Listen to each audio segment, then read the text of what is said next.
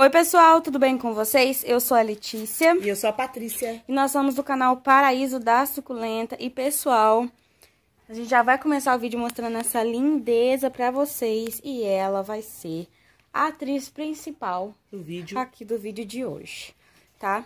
Pessoal, a gente vai fazer arte hoje. Essa é uma menininha que chegou bem pequena aqui em casa.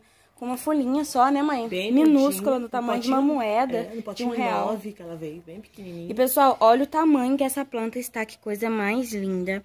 Pra quem não conhece, essa é a é, Calanchoe. Calanchoe. Fan- Aurícula. Calanchoe aurícula, olha eu, louca. Olha, olha que coisa mais fofa. Parece uma orelhinha de Shrek, né? Olha o tamanho Fofura, ela tá, gente. né? Ela tá muito Ela linda, tá muito, linda, grande. bem grandona. E, pessoal, por incrível que pareça, a gente nunca fez mudas dela. Por quê? Porque a gente ainda não sabe fazer mudas. E o que, que a gente vai aprontar hoje? A gente vai fazer mudas dela. A gente vai testar aqui com vocês e fazer mudinhos dela.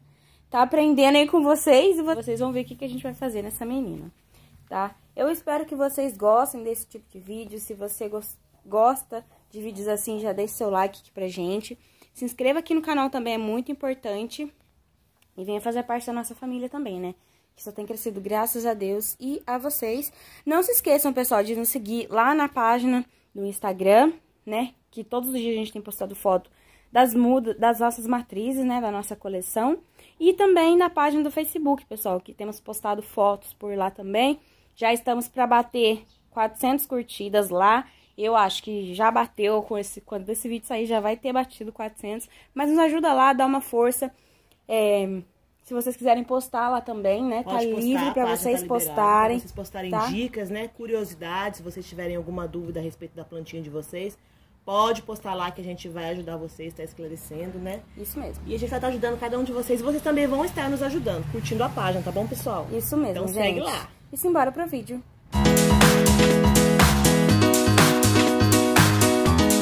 Então, pessoal, estamos aqui. Minha mãe tá morrendo de medo. Mas eu vou estar ajudando ela, pessoal, auxiliando ela aqui. Se ela precisar, né, de ajuda. Ela tá bem grandinha, pessoal. E a gente viu, né, alguns vídeos que ela precisa ser tirada de toceira, né, mãe, que fala? É. Então é necessário desfazer aí o está desfazendo o, o torrão dela pra gente poder ver certinho aonde vai ficar a divisão dessa planta.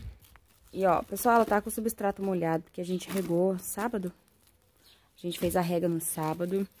Pessoal, ela é uma, uma suculenta de muito fácil cultivo.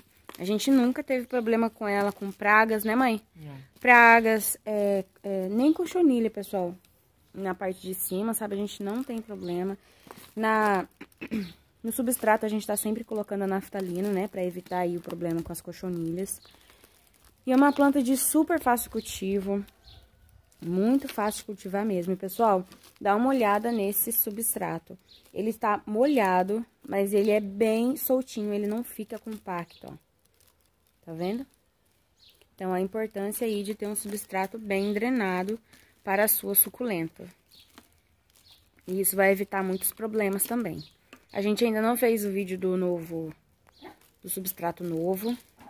Porque, pessoal, pensa num vídeo que é complicadinho de fazer, né, mãe? Demora bastante. Demora, um vídeo que demora um pouco pra fazer. Então, a gente tá adiando aí, mas vamos trazer esse vídeo pra vocês, tá? Do novo substrato. Que, seria, que, ser, que é, no caso, seria esse substrato que a gente tá usando aqui. Isso, esse aqui, esse novo. Olha que planta mais linda. pessoal. Ela tá bem enraizada. A gente nunca fez decapitação, né, mãe? Não. A gente nunca cortou as raízes, pessoal. Ela se desenvolve super bem. A gente também nunca tirou mudas dela. Essa vai ser a primeira vez que a gente vai estar tirando muda dela pra, pra fazer, né? Tem bastante pessoas pedindo mudas, né, mãe? Dessa planta pra venda. Então, a gente vai estar fazendo aí. Normalmente, a gente espera, quando a gente tem dó, a gente espera crescer muda pra poder estar tirando. Mas essa não tem como tirar muda igual nasce as outras. Ela é por Toceira. Toceira. divisão de toceira. Então, é, é necessário fazer aí essa, esse processo de estar desfazendo o torrão para poder tirar as toceiras. E o, o dó de tirar, né, pessoal? Olha que planta mais linda. Ela é muito bonita. Ela tá muito enraizada, por isso que tá difícil de tirar. Tira daqui, mãe, ó. Daí você deixa. Que aí você vai conseguir ver o torrão dela. Eu vi no vídeo a moça falando que ela é... Ó, pessoal, que a gente usa aqui pra cochonilha de raiz. Ó, naftalina. Vê? A gente usa em todas as plantas e não tem perigo de perder a planta de, de perder vocês. a planta. Pode Muito pelo contrário. Sem medo. Olha, pessoal. Eu vi também... Olha, pessoal, tá vendo essas folhas? Eu vi a moça falando no vídeo que ela é uma mutação da calanchoi, da orelha de elefante, da famosa orelha de elefante. Sabia, mãe? Vi que a gente confunde também ela com a orelha de Shrek, né? Orelha Shrek. de Shrek, é. Mas não é a Mas não é, planta, pessoal. Essa daqui é uma mutação da orelha de elefante. É, eu vi a moça mostrando até que às vezes ela acaba soltando mudas da, da própria orelha de elefante. Ela traz de volta as origens dela. Achei bem interessante. Pessoal, a gente vai dar uma paradinha no vídeo agora, porque eu vou dar uma lavada nessas raízes e já volto com vocês, tá bom? Pessoal, a toceira dela tá bem juntinha e algumas estão bem novinhas, ó. Então essa daqui eu não vou tá tirando, vou esperar crescer mais. Aqui tem uma toceirinha separada, ó. Eu vou tá cortando essa daqui, tá? Sei tirar, não sei tirar.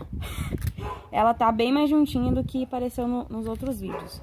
Mas eu vou cortar. Ó, gente, saiu. Belezinha. Então, a gente vai estar colocando pra enraizar. Olha que fofura, gente. Eu vou ver se eu consigo achar mais uma pra tá tirando. Deixa eu ver. E a gente acabou descobrindo que não tem segredo, né? Só é difícil de cortar porque ela tá, ela tá bem muita, juntinha. muitas mudas juntas, né? É, ela é uma coceira bem... Ó, vou estar tá tirando essa, tá? Ó, pessoal. Não é difícil de cortar. Mostra e eu vou tirar mais outra.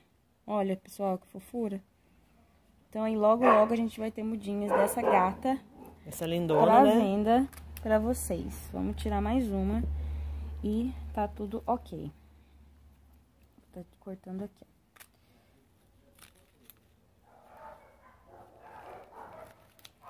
ó. Ó, pessoal. Mais uma mudinha. Ah, mas ficou estranho, pessoal. Não tem problema. Ela enraiza. Ela, isso. Ela é uma suculenta. A suculenta enraiza muito rápido, tá? O que a gente vai fazer é a mesma coisa que a gente faz com as outras. A, gente vai passar canela nesse daqui e vai deixar secando, secando. Pelo tá? menos três dias, pessoal. E, pessoal, como a gente fez o corte na matriz, o que, que a gente vai... Tá, mãe, o que, que você acha? Tira outra, deixa ela Pode assim? tirar mais uma. Pode tirar mais uma? Então, vamos achar um, um torrão aqui mais fácil de estar tirando. É, que tá bem lá no fundinho. Deixa eu ver se... Achei, achei uma aqui. Vamos ver se eu consigo tá tirando aqui. Deixa eu mostrar como é que você faz, né? Ó, pessoal, é Muito só simples, ó, pessoal. é, É só só tá- cortar. cortando aí e retirando. Mais um coceirinha, ó. Tá vendo? É que, infelizmente, essa planta ela não dá muda por folha, né, pessoal? Isso. Como as outras suculentas. Então, a gente precisa estar cortando, tirando as, as touceiras para ela poder... Pra gente poder ter mais mudinhas dela, né? Isso. E, pessoal, ela é bem... Até achei bem simples. O que a gente vai fazer agora, pessoal? A gente tirou algumas mudas. Deixa eu ver se dá pra tirar mais uma pra vocês verem. Mas ela já tá... A gente já arrancou bastante, né, mãe? É até bom, pessoal, a gente tá tirando um pouco de mudas dela para dar um ar, né? Pra ela poder respirar melhor. Porque ela tá muito juntinha, ela tá com muitas toceirinhas de mudas. Essa daqui acho que seria melhor uma faquinha. Pra gente tá podendo fazer mais mudas dela. E se a gente vir a perder uma, uma planta, né? A gente tem outras. Isso é o que a gente tem feito aqui no nosso cultivo, pessoal. Sempre tendo ter duas ou três matrizes de cada planta. Porque se a gente perder uma, a gente tem outra. Aí, pessoal, mais uma pulseirinha. E tá ótimo, né? Ó, aqui fizemos, ó. Essas folhas não brotam, tá, pessoal? Até porque ela foi quebrada.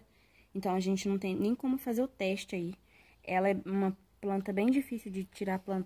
tirar a folha bem certinho. Então, eu nem vou estar tentando para não diminuir ela. Ela não ficou pequena, acho até que ela ficou bem bonita. Ela ficou grande. né? Ó, vou mostrar pra Bem vocês daqui de grandinha. cima. Ó, pra vocês verem. Ó, Ela tá linda demais, ela tá muito grande. Tá bem bonita mesmo. E aqui, pessoal, tem uma, duas, três, quatro. Fizemos cinco mudinhas dela. E a gente vai estar mostrando pra vocês o, o, o processo de enraizamento, né? Como Isso. elas estão, como elas estão indo, se elas enraizaram, como que a gente fez, tudo certinho. E o que, que a gente vai fazer agora, pessoal? A gente vai. A pergunta: vocês vão plantar essa suculenta, a mãe, né? Logo agora com os cortes? Não, pessoal. A gente vai passar canela nos cortes que foram feitos, que a Lê tirou, cortou, que vocês viram aí. E a gente vai deixar esse corte cicatrizar por três dias para depois plantar essa matriz. Mesma coisa serão os bebês. Depois de três dias a gente planta eles num substrato é, seco, tá? Não precisa plantar no substrato molhado, porque ela não tem raiz, então não tem necessidade bebês, de você. Né? Isso, os bebês. Os bebês não têm não tem, não tem raiz, então não tem necessidade de molhar agora. Você, depois de três dias a gente planta eles e deixa eles uma semana, dez dias eles vão enraizar, aí sim a gente começa a regar esses bebês. Outra dúvida que vocês vão perguntar pra gente aí: essa planta vai pro sol? Sim, pessoal, ela vai ficar no solzinho da manhã. Por quê? Porque ela já está acostumada no sol intenso, que é no sol o dia todo. Então, se eu tirar essa planta do sol e passar essa planta na sombra, deixar ela na sombra, depois eu vou ter que adaptar ela novamente ao sol. Então, ela vai para o sol sim, não sol muito quente, né? Mas o sol da manhã ela vai pegar todinho. E os bebês também vão todos eles para o sol da manhã. Tá bom, pessoal? E acho que é isso, né? É. Se vocês tiverem alguma dúvida, né, Lê, a mais que a gente não falou aqui nos vídeos, aqui no vídeo, vocês deixem pra gente nos comentários que a gente faz questão de responder pra vocês, tá bom? Isso mesmo.